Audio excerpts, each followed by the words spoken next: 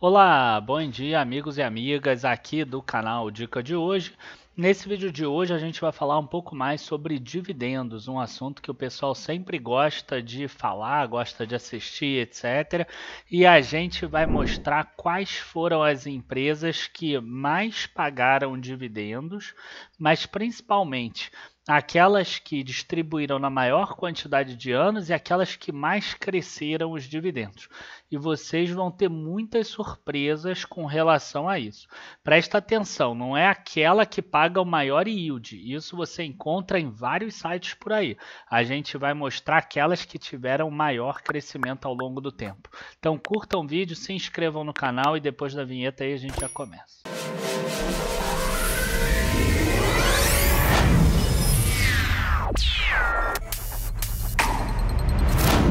Bom, pessoal, eu quando eu falo de dividendos, eu gosto muito de acoplar o crescimento junto. Né? Eu vejo que às vezes tem algumas companhias que ficam mais ou menos paradas no tempo, elas pagam muitos dividendos, sim, mas elas pagam sempre mais ou menos o mesmo valor e quando crescem, crescem muito pouquinho ao longo do tempo. Então, quer dizer, esse tipo de companhia não me apetece, porque eu sei que quando eu chegar lá na minha aposentadoria, quando eu chegar lá e não realmente não quiser mais trabalhar, eu vou precisar da renda dos rendimentos e eu sei que o meu padrão de vida vai sempre querer crescer. Né? Eu sou uma pessoa que quero crescer sempre, eu quero sempre melhorar, eu quero sempre consumir mais supérfluos. Então, essas, esses a mais dependem de um crescimento da renda também. Então, algumas ações que, por mais que elas paguem muito dividendo em relação ao valor de ação delas, às vezes não me atraem tanto assim. Eu prefiro aquelas que às vezes pagam um pouco menos e elas têm crescimento também. Então, eu preparei para vocês uma planilha aqui e que eu vou aproveitar já para colocar para vocês. E eu peguei últimos nove anos de dividendo, sendo que esse último ano aqui eu estou pegando os últimos 12 meses. Então, assim, como o Ginvest Pro ele pega exatamente o que, que foi pago tá, nos últimos 12 meses, aqui a gente está falando de alguma coisa que foi paga entre 29 de julho lá do ano passado, quando eu estou gravando, e 28 de julho desse ano. Né? Óbvio que eu estou gravando em 28 de julho desse ano e não em 29 de julho do ano passado. Mas é isso aqui. E aqui está pegando o ano todo de 2020. Então tem alguns dividendos dessa coluna e dessa coluna que estão sobrepostos. Tá? De qualquer forma, a gente consegue ter uma ideia aqui, principalmente das empresas que pagaram dividendos todos os anos, aquelas que cresceram e para facilitar eu peguei as empresas que hoje estão no índice Ibovespa, tá? Daqui a gente já tira aqui uma coisa óbvia, né? E uma coisa mais básica aqui e alguns problemas também de puxar esse índice. Por exemplo, a Americanas, ela acabou de mudar de, de código então o Amer 3 nunca pagou, já o Lame 4 pagava, mas não consegue puxar. Tá? A TIM tem a mesma questão, a TIM S3, antes era Latim P3. Açaí é um código novo, Natura com esse código também é um código novo, antes era Natu 3. E outras que realmente nunca pagaram, Eneva, PetroRio, Gol, Azul, tá? e a Marfrig que pagou agora, primeira vez, nesse ano, nos últimos 12 meses. Então a gente consegue ver aqui que enquanto aqui embaixo a gente tem algumas empresas de setores muito cíclicos, né, como aviação, como aqui gás natural, petróleo, né, aqui Marfrig que é de alimentos, de proteína animal, ó, a Minerva está aqui embaixo também, a BIF, né, enquanto a gente vê empresas nesse desse sentido, lá em cima a gente vê empresas que já são de outros segmentos instrumentos. Né, a gente já consegue ver aqui, ó, banco, por exemplo, uma empresa de varejo que talvez tenha se destacado no setor, tanto que ela virou, é, virou a benchmark do setor, a Raia Drogazil, Magazine Luiza na mesma situação, por exemplo. Ó, você vê que aqui a JBS está aqui, por exemplo, pagou dividendos todos os anos, embora seja um frigorífico. Você vê a distorção que existe né, entre a Marfig, a Minerva e a JBF, a JBS, por exemplo. A MRV, que também virou líder de setor. Ó, a Lame 4, que ainda está aqui, por exemplo. é, VEG. Você vê que aqui acabam entrando líderes de setores, né? Essas são aquelas que pagaram nove anos seguidos, além de muitas elétricas e muitos bancos aqui no meio. Então, esse é o setor que a gente vê e a gente percebe também que empresas que se mantêm no nível Ibovespa, no índice Bovespa, são mais da metade delas pagaram dividendos todos os anos. É importante para a empresa ter lucro e com lucro pagar dividendo, ela se mantém no índice Bovespa dessa forma. Bom, é, mas quantas delas cresceram? Né? Essa é uma outra questão que é importante, porque, por exemplo, lá nos Estados Unidos a gente tem indicadores que se chamam Dividend Aristocrat e Dividend King. O que, que significa Dividend Aristocrat? É, são aquelas empresas que pagam dividendos crescentes por pelo menos 25 anos. Tá? Entre 25 e 49 anos. As que pagam 50 anos ou mais viram Dividend Kings. E aqui a gente está falando de crescimentos. Tá? Aqui nesse meu modelo, eu estou usando até mesmo dividendos iguais, não tem problema. Se forem iguais os dividendos, não tem problema. Tanto que Magazine Luiza aqui, ó, tá com 7 centavos 3 anos seguidos, ó. Ah, não, mas aqui tá com 7 centavos, mas tá, tá mudando menor. Então esquece que eu falei. Mas se tivesse exatamente o mesmo valor, você ainda assim entraria aqui como dividendo crescente. Quer dizer, aqui eu estou botando maior é igual, que ainda facilita. Tá? E mesmo assim a gente vê que nenhuma das empresas conseguiu 8, né? porque em 9 anos tem 8 períodos de variação aqui. As que mais chegaram próximo, Raia, que só não cresceu exatamente nesse último por enquanto. É claro que até o final do ano ela pode acabar pagando mais alguma coisa, mas pode ser que tenha coisa que ela pagou no último ano que está incluída aqui nos dois, tá? E Bradesco.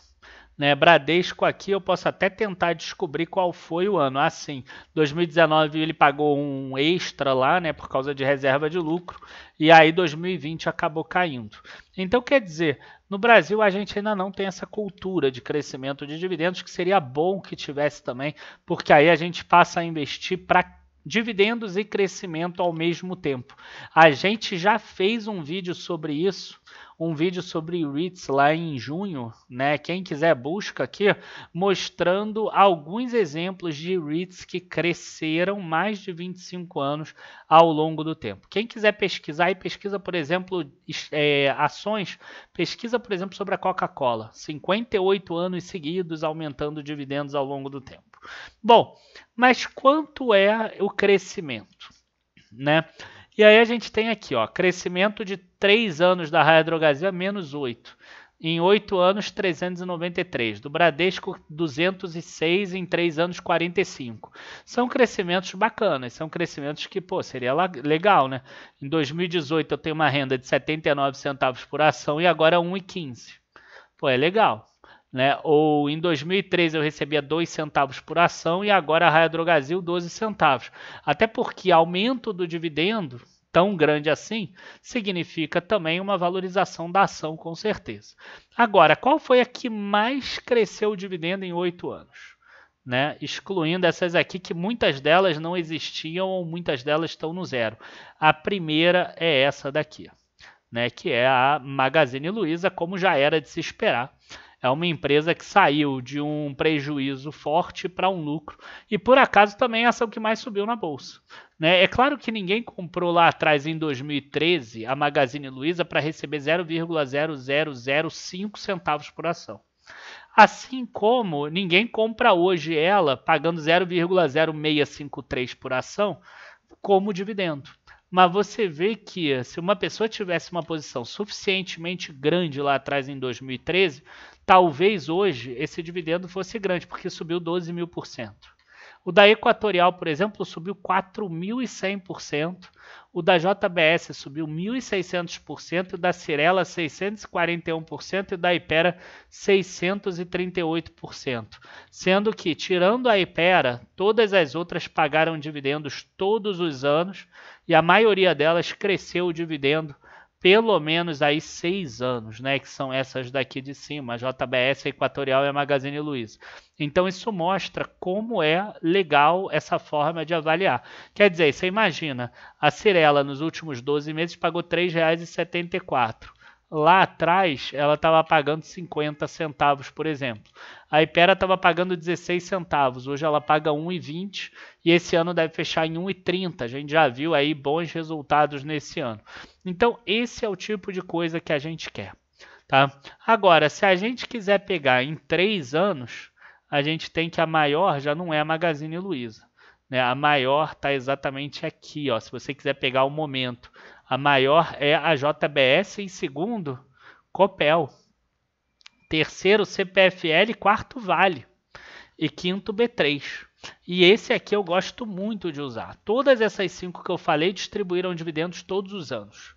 Sendo que todas elas distribuíram dividendos crescentes em pelo menos cinco desses oito períodos, né, nos nove anos.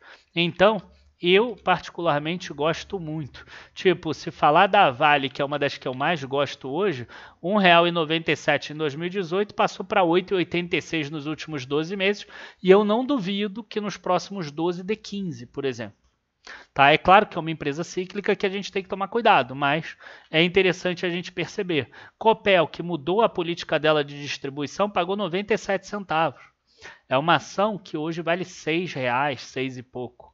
Né? E pode ser que ela não pague mais isso? Pode, mas em 2018 ela pagou 12, por exemplo.